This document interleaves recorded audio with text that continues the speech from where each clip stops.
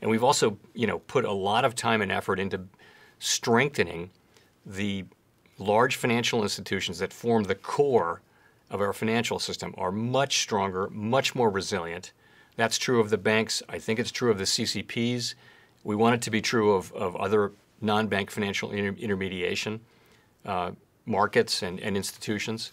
So I think that's that, that's uh, you know monetary policy should be to me provide for uh, for achieving our macroeconomic aims.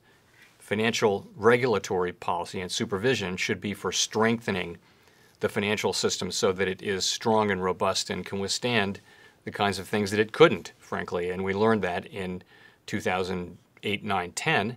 This time around, the regulated part of the uh, financial system held up very well. We, we found some other areas that, that need strengthening, and that's what we're working on now.